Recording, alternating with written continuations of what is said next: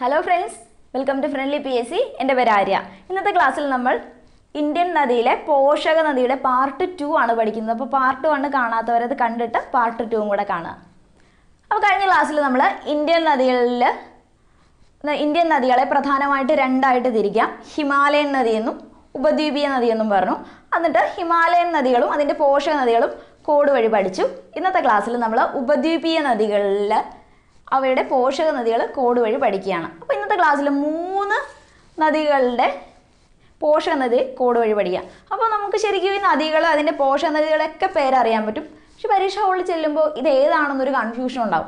അപ്പോൾ അങ്ങനെ ഉണ്ടാവാതിരിക്കാൻ നമ്മൾ പ്രധാന നദികളും അവയുടെ പേരും അതുപോലെ പോഷക നദിയുടെ പേരുമായിട്ട് ലിങ്ക് ചെയ്താണ് ഇന്നത്തെ ക്ലാസ്സിൽ പഠിക്കുന്നത്. അപ്പോൾ ആദ്യത്തെ ഏതാണ്? നമ്മൾ താപ്തിയുടെ പോഷക നദികൾ ഏതൊക്കെയാണെന്ന് നോക്കാം.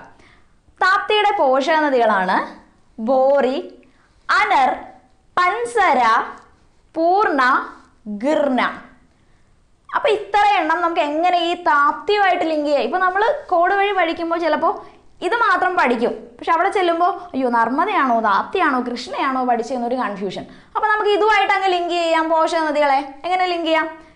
താപ്തി എന്ന് പറയുമ്പോൾ നമുക്ക് അതുമായിട്ട് റിലേറ്റ് ചെയ്ത് അറിയാവുന്ന ഒരു പദം ഏതാണ്? തൃപ്തി. അല്ലെ? സാറ്റിസ്ഫൈഡ് ആണ്. തൃപ്തി എന്നാണ് അല്ലേ? അല്ലെ നമുക്ക് തൃപ്തിയായി. അപ്പോൾ താപ്തി. അപ്പോൾ നമ്മൾ എന്ത് ചെയ്തിട്ടാണ് തൃപ്തിയായെന്നാണ് കോഡിൽ പറയുന്നത്. സാധാരണ നമ്മൾ വീട്ടിൽ ഇങ്ങനെ ബോറടിച്ചൊക്കെ ഇരിക്കുമ്പോൾ എന്താ അടുക്കളയിലൊക്കെ പോയി തപ്പുമല്ലേ എന്തെങ്കിലും നമുക്ക് സ്നാക്സ് കഴിക്കാനുണ്ടോ അപ്പോൾ അതുപോലെ കഴിച്ച് അടുക്കളയിൽ പോയി കഴിച്ച് ഒരു കഥ പോലെയാണ് നമ്മൾ ലിങ്ക് ചെയ്യുന്നത്. അപ്പോൾ ഇതാണ്. നമ്മൾ വീട്ടിലിരുന്ന് ബോറടിച്ചപ്പോൾ ബോറി. അടുക്കളയിൽ പോയി നോക്കിയല്ലേ എന്തെങ്കിലും ഉണ്ടോന്ന് അപ്പം എന്റെടാ അനർ ഫ്രൂട്ട് ഇരിപ്പുണ്ട് കേട്ടോ കഴിക്കാൻ. അനർ എന്ന് പറയുന്ന ഫ്രൂട്ട് ഉണ്ട് കഴിക്കാൻ. അപ്പോൾ ബോർ അടിച്ചപ്പോൾ നമ്മൾ അടുക്കളയിൽ പോയി അനർ ഫ്രൂട്ട് എടുത്ത് കഴിച്ചു. എങ്ങനെയാണ് കഴിച്ചത്?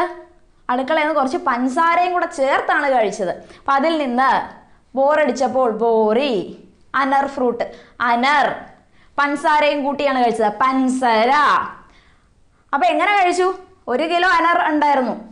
നമ്മളത് പൂർണമായിട്ടും കഴിച്ചു അല്ലേ? അപ്പോൾ ഒരു കിലോയൊക്കെ കഴിച്ചാൽ വയറങ്ങ് നിറയും. അപ്പോൾ എന്താ? ഏമ്പക്കം വരുമല്ലേ ഗിർന്ന് ഏമ്പക്കവും വന്നു. അല്ലേ? ഗർണ.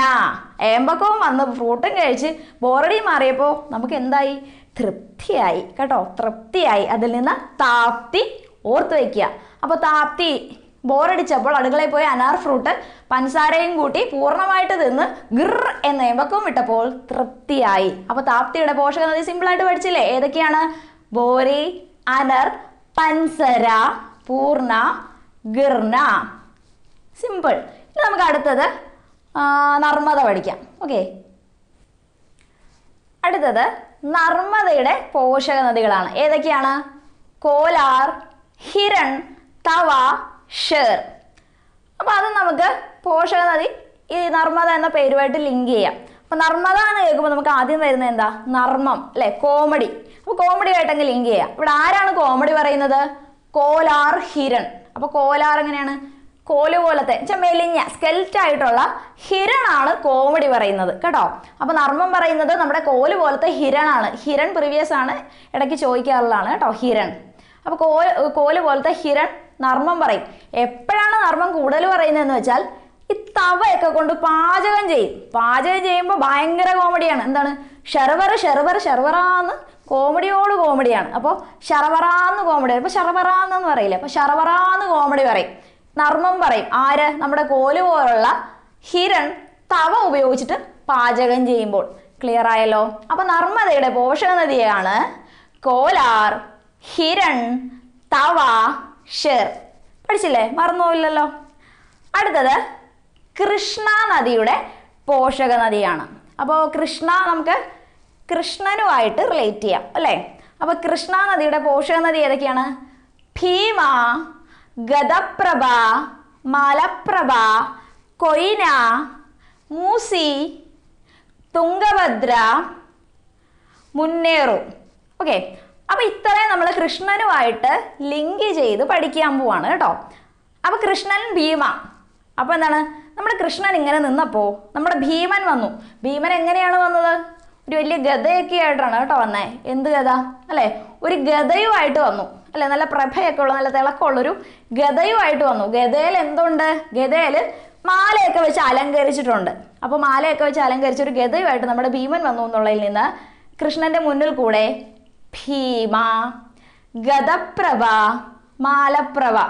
അപ്പൊ ഇത്ര വലിയ ഗമ ഗതയൊക്കെ കൊണ്ട് വരുമല്ലേ അപ്പൊ കുറച്ച് വെയിറ്റ് ഒക്കെ ആവാം കൃഷ്ണനെ കണ്ടപ്പോൾ ഒരു കാര്യമില്ലാതെ കൊഞ്ഞണം കാണിച്ചു കേട്ടോ. കൊയിന കേട്ടോ. കൊഞ്ഞണം കാണിച്ചു അല്ലേ? ഈ ഗോഷ്ടി കാണിക്കില്ലേ? അപ്പൊ കൊഞ്ഞണം കാണിച്ചു അല്ലേ? കൊയിന. ആരാണ് കൊഞ്ഞനം കാണിച്ചത്? ഭീമ. നമ്മുടെ കൃഷ്ണനെ കൊഞ്ഞനം കാണിച്ചു കേട്ടോ. ഓക്കെ. അപ്പോൾ കൃഷ്ണൻ ഓർക്കും വിട്ടുകളെ വെറുതെ മുഷിപ്പിക്കാതെ മുന്നോട്ടങ്ങ് പൊയ്ക്കേന്ന് പറഞ്ഞു കേട്ടോ. അപ്പോൾ എന്താണ്? വെറുതെ മുഷിപ്പിക്കാതെ മൂസി അല്ലേ? വെറുതെ വെറുപ്പിക്കല്ലേ നമ്മൾ പറയില്ലേ? വെറുതെ മുഷിപ്പിക്കല്ലേ? അപ്പോൾ മൂസി നമ്മുടെ കൃഷ്ണൻ ഭീമനോട് പറയാം മുഷിപ്പിക്കല്ലേ? മൂസി വെറുതെ മുഷിപ്പിക്കാതെ മുന്നോട്ടങ്ങ് പോകും കേട്ടോ? മുന്നോട്ട് പോയിട്ട് എന്ത് ചെയ്യണം? ആ നമ്മുടെ ഗത ഭദ്രമായിട്ട് എവിടെയെങ്കിലും കൊണ്ട് കേട്ടോ? അപ്പോൾ അത്രേ ഉള്ളൂ. ആ ഡയലോഗിൽ നിന്ന് ഇത് ഫുള്ള് നമുക്ക് പഠിച്ചു വയ്ക്കാം. സിമ്പിളായിട്ട് ഓർത്തിരിക്കും. അപ്പോൾ കൃഷ്ണയുടെ പ്രധാനപ്പെട്ട പോഷക നദികൾ ഭീമ ഗതപ്രഭ മാലപ്രഭ കൊയ്ന മൂസി തുംഗഭദ്ര മുന്നേറു എന്നിവയാണ്. അപ്പോൾ ഇത്രയാണ് നമ്മളുടെ ഇന്ത്യൻ നദികളുടെ പാർട്ട് ടു പോഷക നദികളുടെ പാർട്ട് ടു അപ്പോൾ എല്ലാവർക്കും ക്ലാസ് ഇഷ്ടപ്പെട്ടു മനസ്സിലായെന്നാണ് വിചാരിക്കുന്നത്. അപ്പോൾ നിങ്ങളുടെ അഭിപ്രായങ്ങൾ കമന്റ് ചെയ്യുക. എന്നാലും എനിക്ക് ക്ലാസ് ഇമ്പ്രൂവ് ചെയ്യണോ എന്ത് ചെയ്യണം അറിയാൻ പറ്റുള്ളൂ. അപ്പോൾ ക്ലാസ് ഇഷ്ടപ്പെട്ടാൽ friendly P S C subscribe ചെയ്യുക ലൈക്ക് ചെയ്യുക ഷെയർ ചെയ്യുക. അതുപോലെ നിങ്ങളുടെ എഫ് ബി പേജിൽ കൂടെയൊക്കെ ഷെയർ ചെയ്യണം കേട്ടോ. പിന്നെ നമുക്ക് ഒരു ടെലഗ്രാം ചാനലുണ്ട് ഫ്രണ്ട്ലി പി എസ് സി എന്നാണ് പേര്. അതിലെല്ലാവരും ജോയിൻ ചെയ്യുക. അതുപോലെ മോക്ക് ടെസ്റ്റ് ചെയ്യുന്നതിന് നമുക്ക് ഒരു ആപ്പ് ഉണ്ട്. Island Kerala P S C app അത് ഡൗൺലോഡ് ചെയ്യുക. Okay thank